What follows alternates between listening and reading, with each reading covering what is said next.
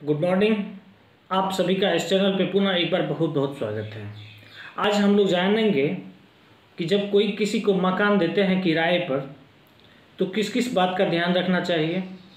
और ये भी जानेंगे, क्या किरायादार मकान मालिक बन सकता है?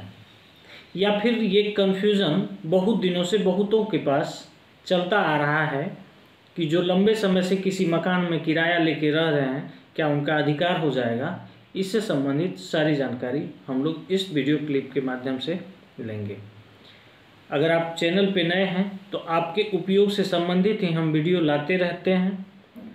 आप सब्सक्राइब कर लें ताकि आपका और मेरा साथ बने रहे। दोस्तों, अभी वर्तमान में देखा जाए तो जितने भी शहर हैं, जितने भी नगर हैं, जितने भी महानगर हैं, उसमें ज़्यादा से ज़्यादा तरह के लोग वैसे होते हैं जो किसी के मकान में भाड़े लेकर रहते हैं और उस शहर का जो नियम होता है, इससे संबंधित जो कानून बना हुआ है, वो प्रत्येक राज्य में अलग अलग है। तो आप जिस भी स्टेट से बिलोंग करते हैं, उसका एक अपना प्रोसेस होगा। लेकिन एक कॉमन प्रोसेस जो है, वो मैं आपको बताऊँ कि जब कभी आप किसी को देते हैं तो सबसे पहली बात तो आप चीर परिचित आदमी को ही दें। तो ये कोई ज़रूरी नहीं है कि चीर परिचित आदमी ही आपसे किराया लेने के लिए आए। तो कभी कभी ऐसा भी होता है कि चीर परिचित आदमी के रेफरेंस पे कोई तीसरा आदमी आता है आपके पास मकान भाड़ा लेने के लिए, या कोई भी प्रॉपर्टी आप देते हैं, ठीक है? तो उसका पुलिस वेरिफिकेशन कराना ज़रूरी है। और अगर ऐसा आप कराते हैं, इसका फ्यूचर में आपको फ़ायदा मिलेगा। जब पुलिस वेरिफिकेशन हो जाएगी तो उनके सत्यता का पहचान आपको मिल जाएगा। उसके बाद उसका जो पेपर है पेपर आप लेते हैं, फिर एक किराया नामा बनाते हैं। किराया नामा बनाने में सबसे बड़ी ध्यान देने की बात ये होती है कि उसको आप 11 महीना के लिए ही बनाएँ।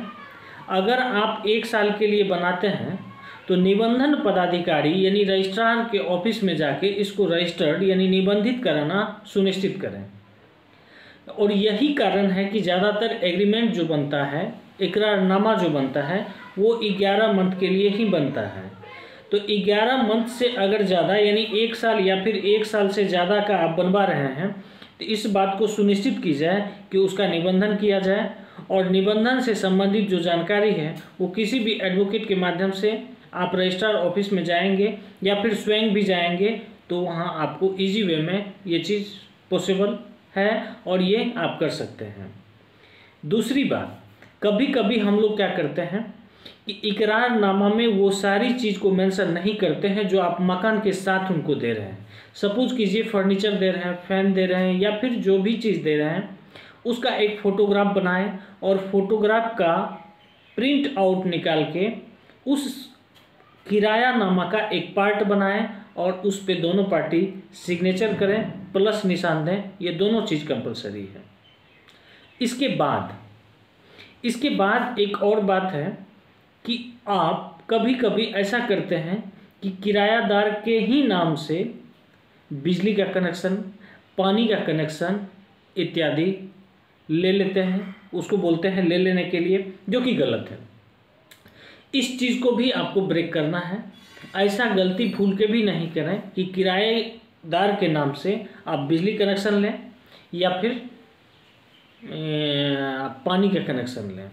तो ऐसा भी करना शायद आपको फ्यूचर में दिक्कत का सामना करना पड़ सकता है।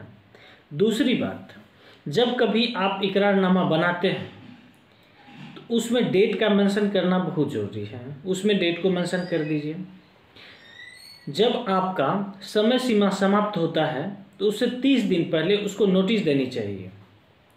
अगर उसी आदमी को फिर से आप और ज़्यादा देना चाहते हैं, एक साल के लिए बढ़ाना चाहते हैं, दो साल के लिए बढ़ाना चाहते हैं, या फिर ग्यारह महीना के लिए बढ़ाना चाहते हैं तो उसका प्रोसेस ये है कि आप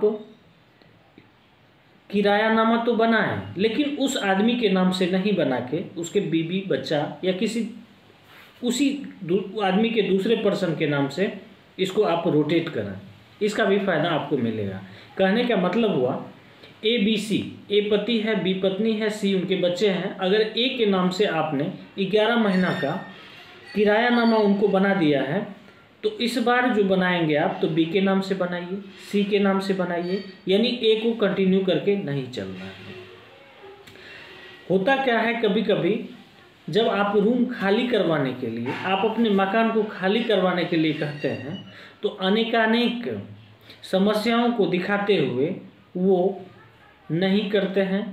अंततः मामला जब कोर्ट जाता है तो कोर्ट में भी अपनी समस्या को दिखा के स्टे ऑर्डर ले लेते हैं, जिससे मकान वाली बहुत बड़े मुसीबत जैसा महसूस करने लगते हैं।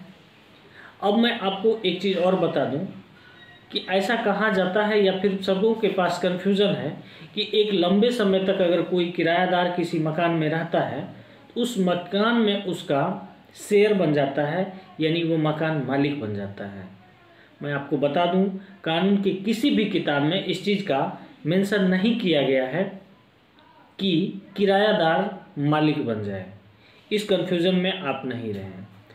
ऐसा इसलिए कहा जाता है कि मान लिया जाए कोई आदमी आपके मकान में रह रहा है और आप उनको बोलते हैं कि आप मेरा मकान खाली कर दो और उनके बच्चे की परीक्षा चल रही होती है। तो वो कोर्ट जाके स्टे ऑर्डर ले सकता है कि अभी अगर हम खाली करेंगे तो मेरे बच्चे की एजुकेशन पर इसका इफ़ेक्ट पड़ेगा। ऐसा हज़ारों एग्ज़ाम्पल अवेलेबल है और जिसके लिए कोर्ट भी स्टे ऑर्डर दे सकती है। तो इस जो भी चीज़ टर्म एंड कंडीशन है तो किराया नामा बनाने में अगर आप इस बात का ध्यान रखते हैं तो इस स्थिति का सामना आपको नहीं करना पड़ेगा। आई होप इससे संबंधित जो भी क्वेरी हो आपका, जो भी मन में क्वेश्चन उठे, आप हमसे बेझिझक कमेंट के माध्यम से पूछ सकते हैं। हम आपकी सेवा में सदैव तत्पर रहेंगे। धन्यवाद। फिर मिलते हैं नेक्स्ट टॉपिक पे।